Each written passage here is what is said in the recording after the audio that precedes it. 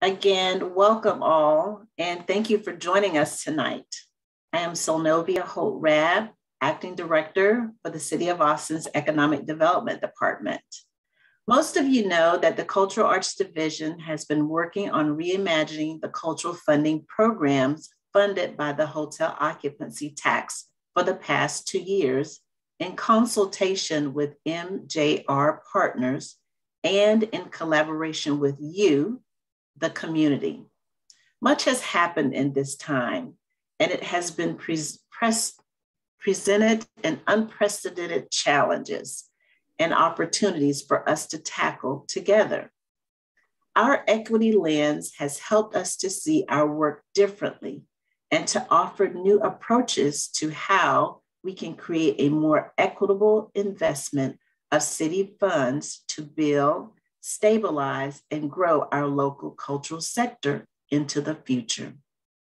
The hotel occupancy tax funds are one part of this work, and I hope you will continue to contribute ideas and dialogue to our shared vision for the future. I'll now turn over to Megan Wells, Cultural Arts Division Manager.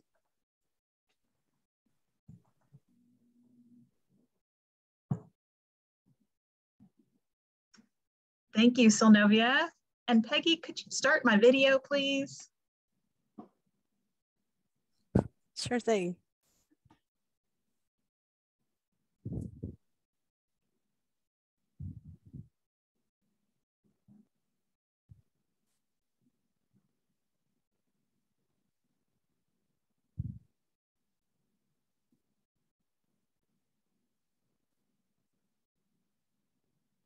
Okay, well, while we're working on that, apologize. Maybe I'll come on and see y'all in a, mega, in a minute. But I just wanted to uh, talk a little about where we are today.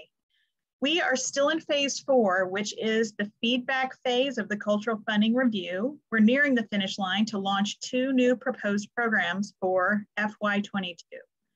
This session is an overview, and in it, we will cover a review of our equity commitment to doing this work, a summary of work that has been done up until now, some of the givens we are working with. Great, oh, there I am, great. Hello. An overview of the Nexus pilot program, an overview of the Thrive program, a brief mention of third-party administration, a tentative timeline going into next year, and information on next steps, where and how to share your additional feedback. One note to keep in mind as we go through this presentation tonight, we know that everyone is hurting right now. We know that. We hear it, we feel it, we are with you, we are partners with you. The pandemic has hit us all hard, and we realize that there is a deep need for immediate relief right now. We as a city and as a department are working on various sources just for that need as well. But we're but for purposes of this presentation tonight, we are making a distinction between the need for immediate relief and the need for future community sustainability and inclusive investment through our hotel occupancy tax. Our discussion tonight will deal with the latter, the long-term vision for this funding. Other EDD and city programs are being designed to offer the former, the shorter term relief. I hope many of you who are eligible applied for the recent $2 million in Arts and Culture Nonprofit Relief Grant Funds, which was the first American Rescue Plan Act funding that the city has rolled out. There will be additional conversations soon about the remaining $10 million of support identified by City Council through ARPA that is to come. Next slide. The city's strategic direction 2023 states that to advance equitable outcomes, the city must lead with a lens of racial equity and healing. Race is the primary predictor of outcomes and it is time to recognize, understand, and address racism at its various levels, personal, institutional, structural, and systemic. I thought this visual, borrowed from createequity.com, clearly illustrates the various ways we have been looking at our work in this process through the cultural equity lens. Not only does it emphasize diversity as a foundational tenet of all organizations in the ecosystem, But perhaps on a deeper, deeper level, it also calls out the importance of examining the role of large budget organizations to support artists of color within their mission and goals, the systemic redistribution of resources that is needed, and the agency that this new structure could and should support for a greater degree of self-determination for our communities of color. Next slide. The need for racial equity centers centered shift, this, this racial equity centered shift in the Cultural Arts Division's funding programs is clearly illustrated through our own program data. Data gathered from the past and current contracts shows a clear disparity in the distribution of funds between demographic groups. Even in FY21, with the creation of the Equitable Economic Resiliency Framework, Black cultural contractors account for only 9% of total dollars awarded, and other BIPOC contractors account for only 28%. White identifying cultural contractors account for the majority of funds awarded at 63%. It is data like this that reveals how our cultural funding system has been exclusionary over time. Next slide. The programs we plan to walk through today are a result of two years of work, which is summarized on this slide. The first column shows the five stages of the cultural funding review. The second column shows the ways in which we involve the public and various advising teams in our process. And the third column shows how the feedback we received in each phase supported the planning in the next phase. There's a lot of text on this slide and I won't read it all out, but I encourage you to use it as a reference later if need be. We remain in phase four today and we will collect feedback through virtual office, office hours, a feedback survey that is available on our webpage, and one-on-one communications with us, us as staff. The feedback we gather through the month of August will inform where we go with a revision of our guidelines that we hope to release in late September, early October. For more information on the cultural review process and to read the interim report released in June, visit the Cultural Funding Review webpage. I'd like to now pass this over to Penny to do our first Menti survey related to public participation. Thank you, Megan. Please answer the following question by inputting your answer directly into Menti. As a reminder, the participation website and unique digital code are located at the top of this slide. How have you participated in the cultural funding review in the past two years? This could include attending workshops, attending open office hours, participating in listening sessions, speaking with staff, sending comments through our comment box, speaking at Arts Commission meetings, or other. We'll allow a few seconds for your response.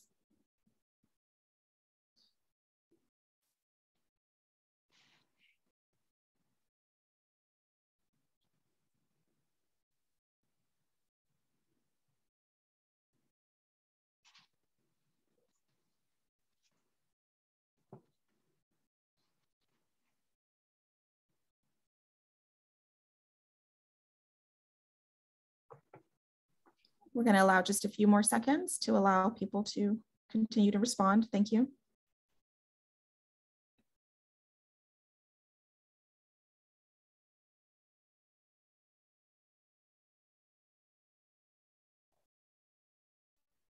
All right, thank you everyone for your responses. I will now hand it back to Megan Wells to continue our presentation. Thanks, Penny. We started this process in 2019 when there was already pressure on our hot funds to, to support our existing funding framework. Due to the intensification of the pandemic's impact on this source of funds, we were forced to adjust to a very different financial picture. In FY21, we contended with a 46% reduction in what was available compared to the previous year. And projections for FY22 showed a deficit in hotel occupancy tax funding that was caused in part by using a projection model to fund FY21. The projection model has always been tricky for us because our budget is based on an educated guess of where we think those funds will be received. We are now working towards implementing an accrual model, which will allow us to shift to use actuals of actual received funds instead of projections over the next two years. We've received support from the Arts Commission for this shift. The red portion on this slide shows a one-time contribution from the city's budget reserve stabilization fund that is being put forward by the city manager to fill the hot fund deficit incurred this past year. If approved by council, it will mean that we can begin FY22 without having to put future hot funding towards this deficit. That said, the amount available for FY22 with this shift to accruals is $3 million, which is 75% less than what was available pre-pandemic. With $3 million, we have enough funds to pilot two funding programs, Nexus and Thrive. Hot revenue likely will not stabilize we, until FY25 based on projections which means we will look to launch Elevate, our third proposed program, once hot fund revenue has increased enough to support a third funding program. Next slide. Here are the givens that we are working with. We know the amount of funding available. The only available money that we will use to fill our pot of funds for FY21 has been determined. The 3 million is the available for FY22. This is all the funding that CAD expects to expend for FY22. We are leading with racial equity. In FY22, we are launching two programs that best answer the equity needs that were exacerbated by the pandemic. Elevate will launch when funding allows. Our investment is future looking. We will use hot funds to invest in a stronger, more racially diverse and inclusive cultural tourism ecosystem. We are moving from projection to, of accrual to projection to accrual of hot funds. FY23 will be the first year using actual funds accrued. This will mean less uncertainty in planning for program administrators as well as for applicants. It will also mean there can be a shorter window between application closing and entering into contracts. Rules attached to the funding source, hotel occupancy taxes, still apply. The overall program designs and structures are refined we are refining these programs, not starting from scratch. We cannot serve everyone with these programs. In the past, we funded 99% of applications. This was untenable as demand increased every year and the amount of available dollars did not grow proportionately. Feedback from applicants and, and from staff voiced a need for a more rigorous application process, requesting that we hold applicants to a higher standard and that we better align the application approval process to city goals. The scaling back of the number of funded applicants was imminent even before the pandemic hit. We do realize the ecosystem needs all of its members to be sustained. And that is the ultimate goal for us as a community to work toward achieving.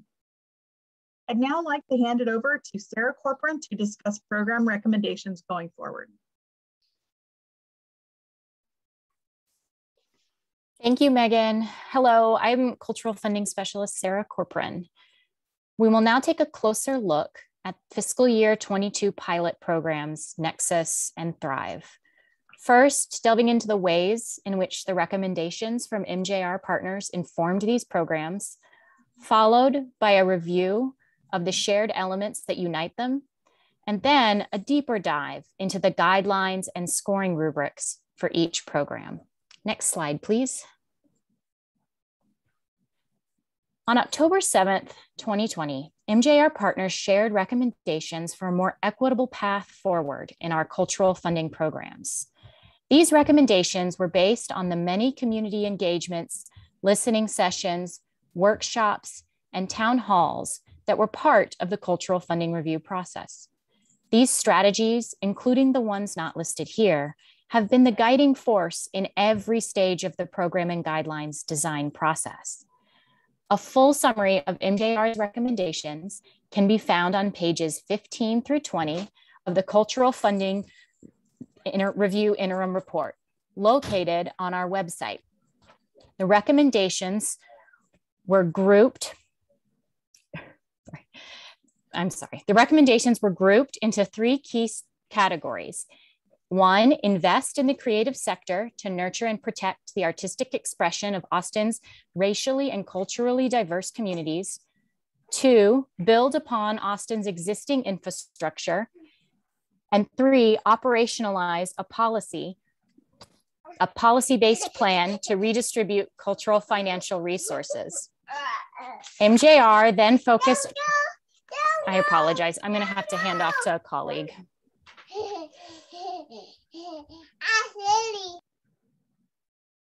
I can take that, Sarah. Um, I will have to take a moment to find my place in the script. Um, but yes, in the chat, there is a link to the full interim report if you want to review pages 15 through 20 um, for a summary of those recommendations that these programs are built around. Uh, next slide. So we want to make sure that you're aware of some important shared elements in the guidelines for Nexus and Thrive. The first is that leading with racial equity is a core value for all of these and all of CAD's programs. This value is reflected through all phases of the program and guidelines design, especially the funding priorities and scoring rubrics. Compliance with the hotel occupancy tax statute remains an important requirement for both programs. Nexus must fund activities that are marketed and accessible to Austin's tourists, while Thrive must fund art, arts organizations that produce activities that are marketed and accessible to our city's tourists. Geographic eligibility is also a shared element of both programs. All applicants must be located within the Austin metropolitan statistical area and the majority of the applicants' work and any funded activities must occur within the Austin 10 to 1 district or ETJ, extraterritorial jurisdiction.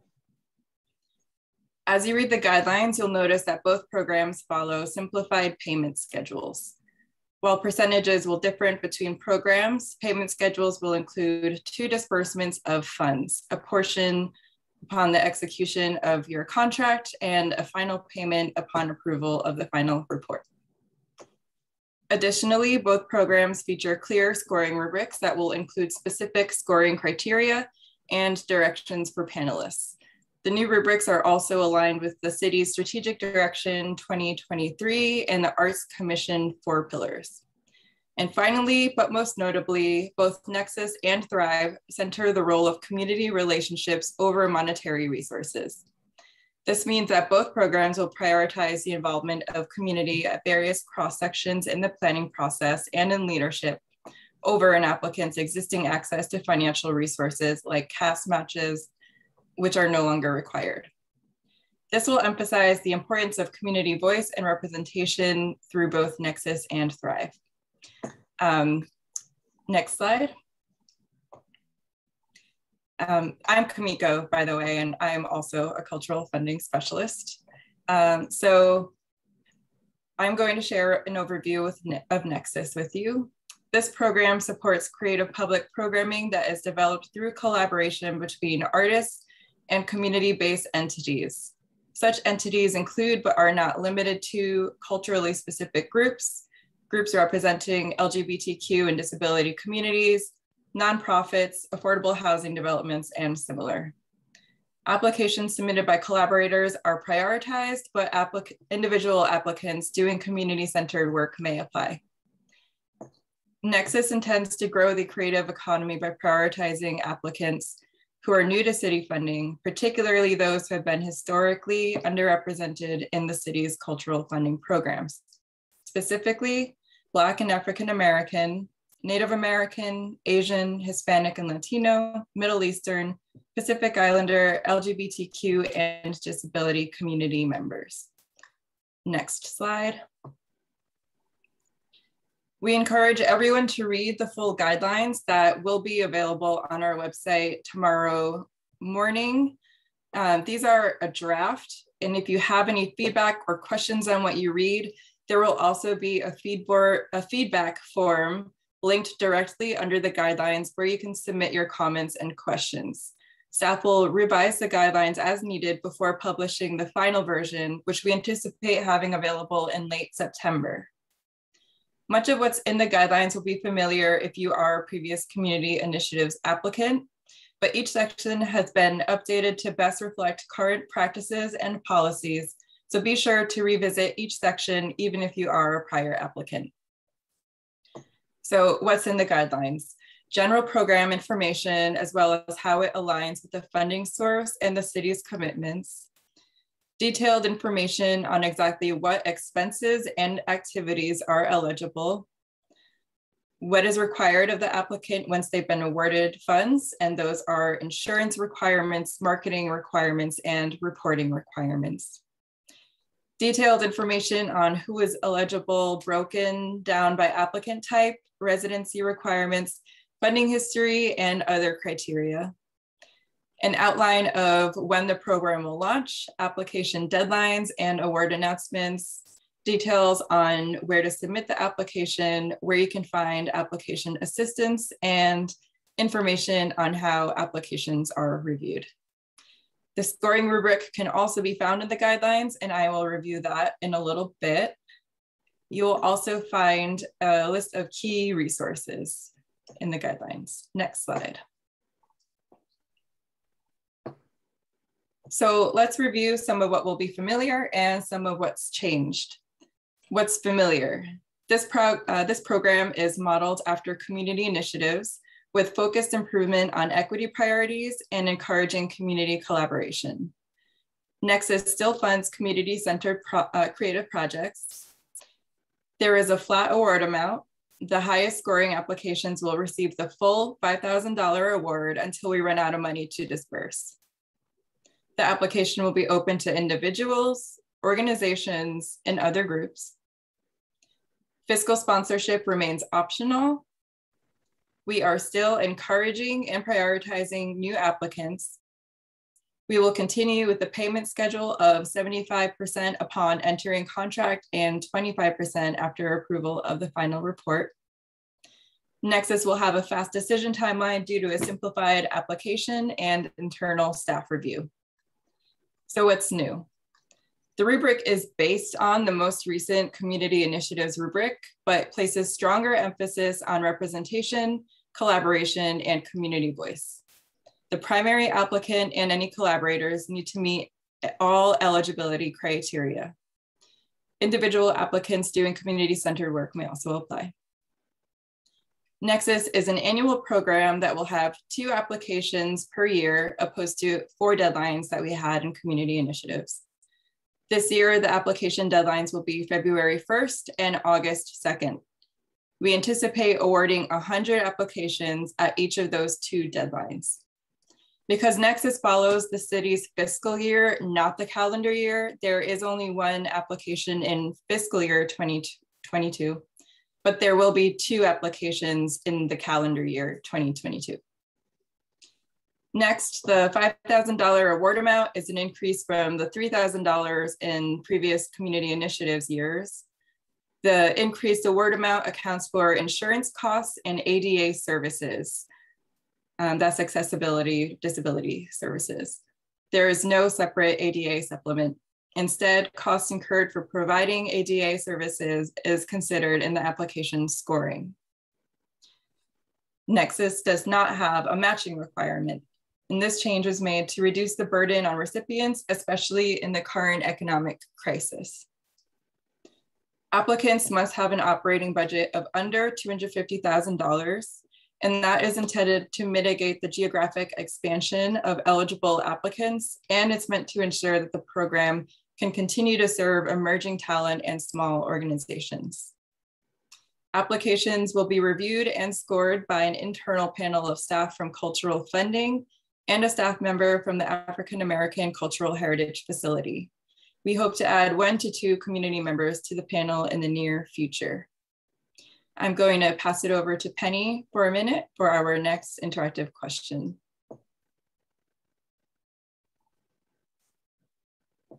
Thank you, Kamiko. Our next question is, what is the minimum award amount for Nexus projects that would allow an applicant to make something meaningful? Possible responses are lower than $3,000, $3,000, $4,000, $5,000, $6,000, $7,000, or I'm not sure. Please take a few moments to add your responses to menti.com.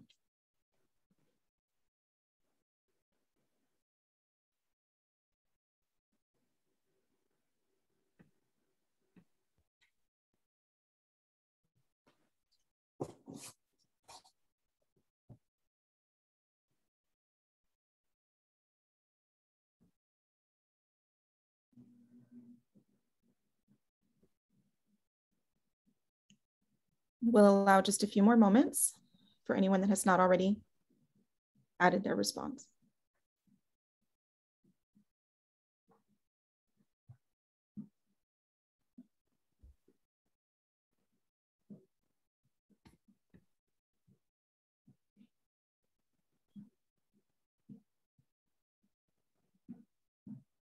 All right.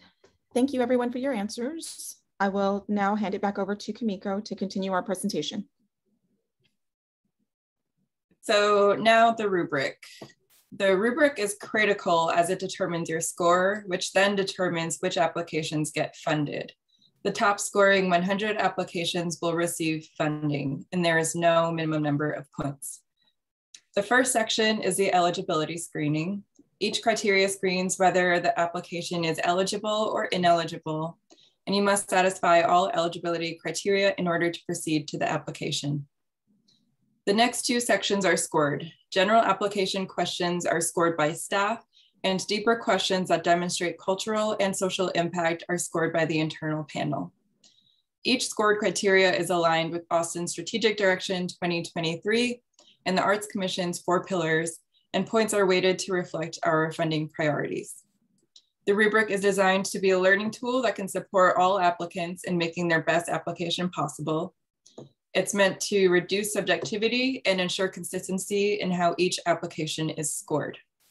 We encourage all applicants to test their proposal against the rubric before submitting their application. Each criteria will have a corresponding question in the application and you can find on the rubric an explanation of what qualifies for full points, what is approaching proficiency, and what is considered insufficient. We'll be hosting a guided discussion on Nexus later this month, and we'll share that information in the chat and at the end of the presentation. And back to Penny for our next question. Thank you, Kamiko. Our next question is, Based on what you have just heard, what questions do you have about Nexus? Your feedback is very important. We will use the questions posted here to help inform the structure for the guided discussion on Nexus happening on August 26th. More information about attending the guided discussion on Nexus will be available at the end of this presentation. We'll allow a little bit more time to allow you to input your answers.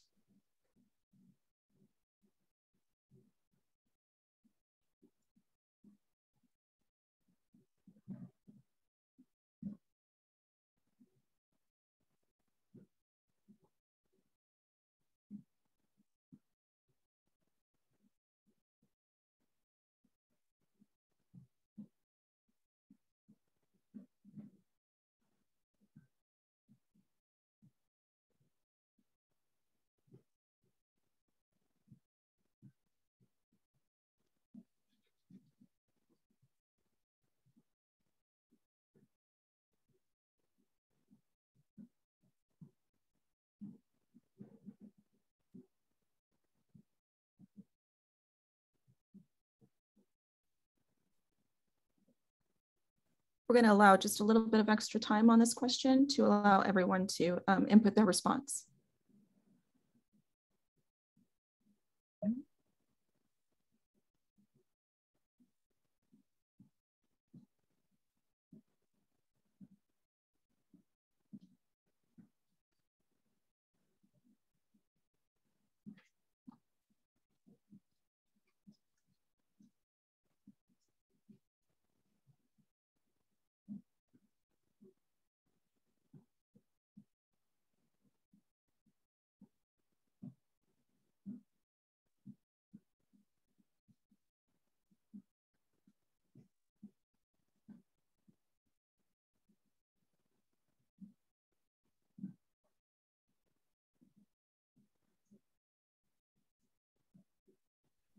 Okay, we have about 10 more seconds.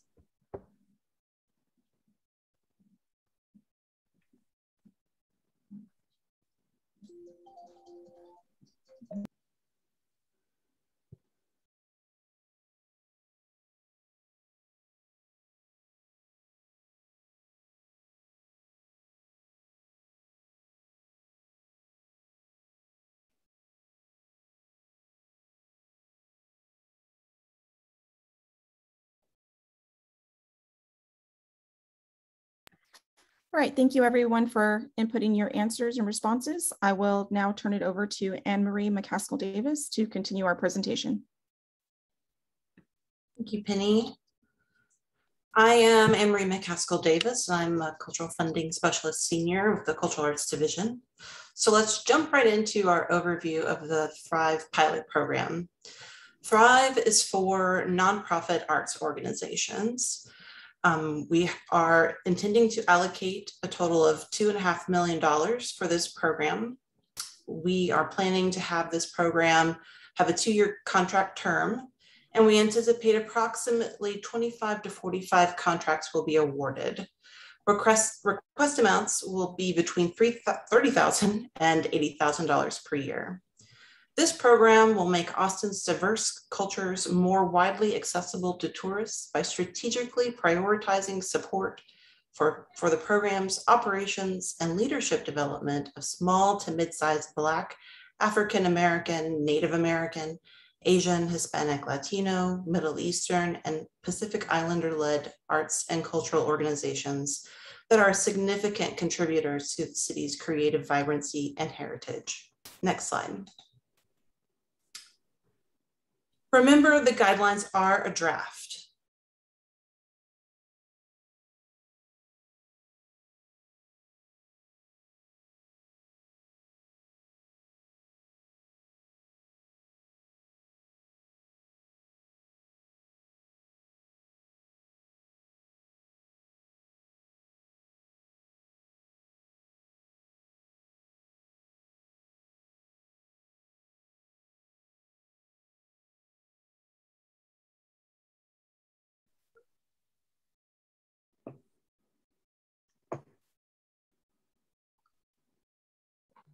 I do not see the presentation up.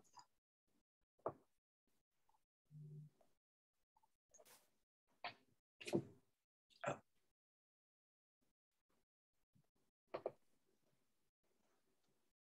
Okay, Thrive, what is in the guidelines? Okay, the structure of the guidelines is very similar to what's in Nexus, um, but the information will be specific to Thrive. Um, so again, you'll find detailed information on exactly what the program funds, including eligible and ineligible expenses and activities. Who can apply provides detailed information on eligible applicants. Um, contractual obligations covers what is required of the applicant once they have been awarded funds. And again, that also includes insurance, marketing requirements, and reporting requirements. Funding availability and timeline provides a detailed outline of the application deadlines and award announcements. Um, and how to apply gives you some direction there on submitting the application and finding support. And there is an appendix that includes glossary and resources. Um, and those guidelines will be available um, tomorrow. We expect to have those live on the website along with the link to where you can provide your feedback on those guidelines. And I don't see Anne-Marie back yet, so I'll just keep going. So what is familiar with Thrive? So Thrive's guidelines build on the framework of eligible expenses from the former core organizational support program, but with notable flexibility, which will be outlined in the what's new section in the guidelines. Um, there will be a panel review and scoring process with noted improvements in panelist training and instruction based on community feedback. If you would like to provide feedback on the panel review process, I encourage you to attend the guided discussion, which is scheduled for this Thursday, August 12th at 6 p.m. And we'll share information about that in the chat after I'm done with this section. What is new? Most of this program is new. Conceptually, this program is an important new step for the city's cultural funding priorities as it is meaningful investment in arts organizations that are led by and representing Austin's diverse cultural communities. Funding can be used for the improvement and growth of arts organizations as it relates to their ability to produce public events marketed to Austin's tourists. This is in keeping with the use of funding for improvement as it relates to funded arts organizations per the hotel occupancy tax, tax statute, the encouragement, promotion, improvement, and application of the arts. Unlike, unlike past core funding requirements, Thrive request amounts and award amounts will not be limited by organizational budget. Next slide. Here are some other new elements in Thrive. Thrive is open to Austin arts nonprofits only, and fiscal sponsorship is not allowed in this program. This program is not open to individual artists or incorporated groups. Applicants must be a 501c organization and have been in operation in the Austin metro area for at least five years to be eligible. There is no matching requirement. Thrive contractors will be issued a two-year contract guaranteeing the same award amount in year two, creating stability and reducing burdensome reapplication requirements. At the end of the first year of the contract, there will be an interim report, which once completed will allow for the full disbursement of the final 10% of the first year's funds. The payment schedule has been restructured so that 90% of the award amount will be issued at the time of entering into contract, and the final 10% will be issued once the interim report, or if in the second year, the final report has been reviewed and approved. Thrive will have one or more cohorts, depending on the number of awarded contracts. We envision the cohort being a shared opportunity for networking, learning, and support for all of the awarded contractors. Non-monetary capacity and organizational improvement resources such as coaching, networking, industry resources, training, and professional development workshops will also be offered to awarded organizations and will be partially self-determined based on the contractor's needs and goals in partnership with the CAD staff. Um, and we have a Penny question next.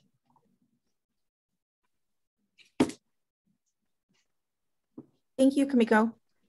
Our next question for Menti is, what is the minimum award amount for Thrive contracts that would allow an applicant to meaningfully improve their organization? With current funding available, I apologize. My computer just froze just a second.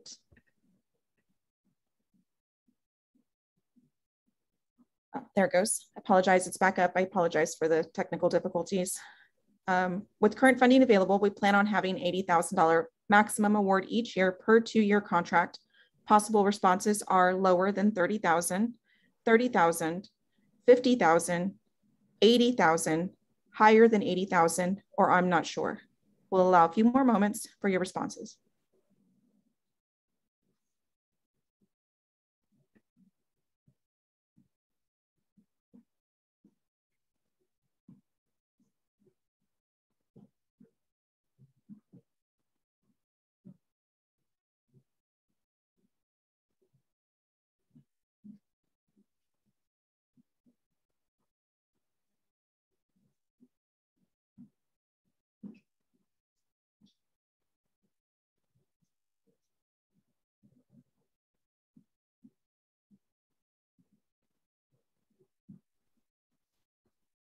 Thank you everyone for your responses. We'll allow about 10 more seconds.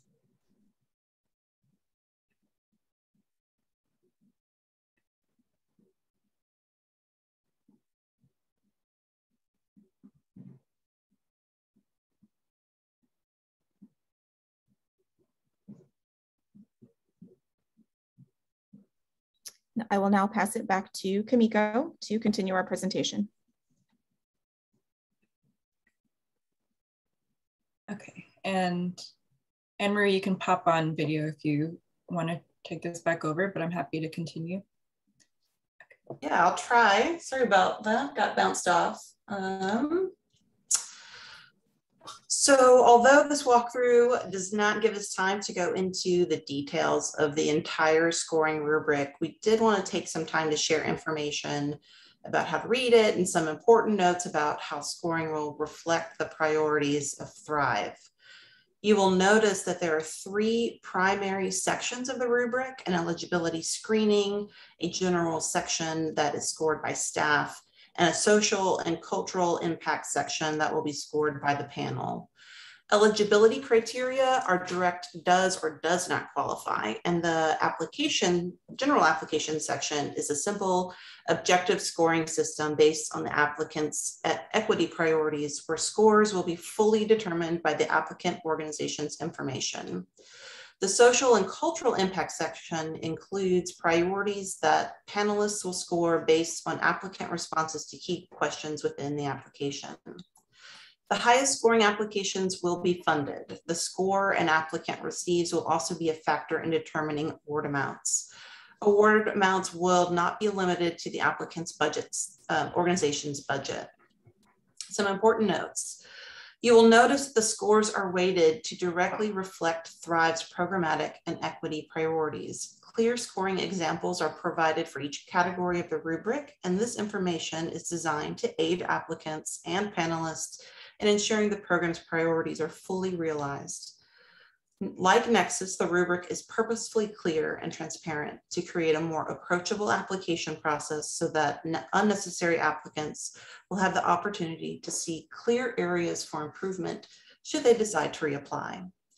If you want to learn more about Thrive, read the full guidelines and the rubric at our website, which will be posted in the morning. At the end of this presentation, you will be provided with details on upcoming guided discussions on Thrive. We encourage everyone to share their feedback with us during the Thrive guided discussion scheduled for 6 p.m. on Thursday, August 19th on our feedback survey on our website or consider joining us for the regular virtual open office hours at 10 a.m. on Tuesdays this month to share your questions and thoughts about the program. Penny, please share out our next Menti question. Thank you, Anne-Marie. Our next question is, based on what you've just heard, what questions do you have about Thrive? Again, your feedback is very important. We will use the questions posted here to help inform our structure for the guided discussion on Thrive happening on August 19th. More information about attending the guided discussion on Thrive will be available at the end of this presentation. We'll allow a few extra minutes, sorry, a few extra seconds of time to allow you to input your questions.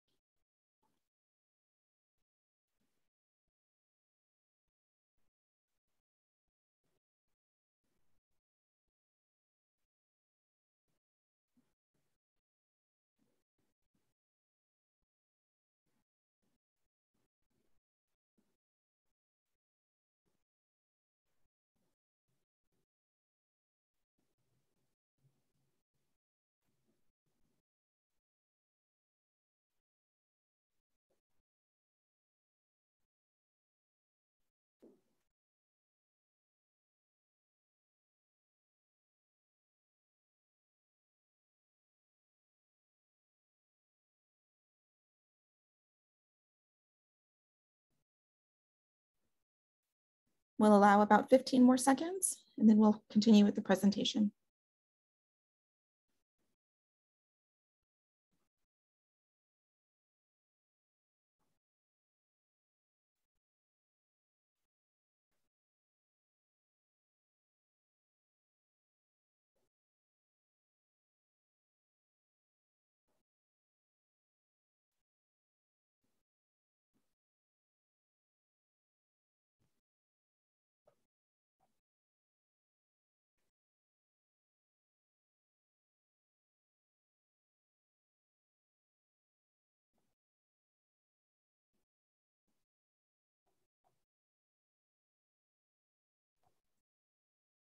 Thank you for your answers. I will now pass it over to Jesus Pantel to continue the presentation. Thanks, Penny. I'm Jesus Pantel, the Cultural Funding Supervisor. The Economic Development Department is exploring the possible use of a third-party administrator for the application and or the contracting process. Now, the contracting process itself will remain unchanged as all of the various attachments are either city or state requirements. Regardless of who administers the contract. But this could free up cultural funding staff time for more community outreach and technical assistance. Plus, a third-party administrator could also possibly speed up the payment process. Now, the third-party administrator would be paid with hotel occupancy tax funds. The third-party administrator utilized earlier for Economic Development Department recovery grants was paid 5% of the available funds. Since Nexus and Thrive have more detailed requirements than what was needed for the recovery grants, that fee could go up to 10% of the available hotel occupancy tax funds. Since $3 million will be available in FY22, that would be a fee of between 150,000 to $300,000. This third-party administrative fee would be on top of the amount already taken out of the hotel occupancy tax funds to cover cultural funding staff salaries. If you have questions or comments about the third-party administration, please be sure to attend virtual open office hours, one of the guided discussions, or to fill out the feedback survey. I'll have links and more information about those in just a bit. And can we go to the next slide, please? So we are taking feedback on these pilot programs through the end of August. We'll spend the month of September analyzing the feedback and depending on the feedback we receive, the tentative, and I wanna um, state again that this is a tentative timeline, is to open up Thrive applications on Monday, October 4th, with applications due by 11.59 p.m. on Monday, November 22nd.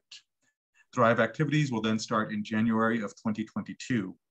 After that, the Nexus applications will be open with an application due date of Tuesday, February 1st for activities occurring between April 1st through September 30th, 2022. If you have any questions about this timeline, again, you can send your questions to us through the feedback survey or attend one of the virtual open office hours. Next slide, please. So we realize that what cultural funding can offer this year is not enough to serve everyone but there are several other resources available through the division and the department to support creatives through economic recovery. You may have received funding from some of these already, or they may offer opportunities in the future. I'm not going to read everything that's on the slide since this PowerPoint presentation will be available later, but there are a number of resources listed here. And the Economic Development Department has a list of relief funding for artists at bit.ly slash musician underscore artist underscore resources. Uh, please note that as has been mentioned earlier, bit.ly links are case sensitive and everything is lowercase um, in this bit.ly link here, uh, which should be going out in the chat soon if it is not all there already. So bit.ly slash musician underscore artist underscore resources. Next slide, please.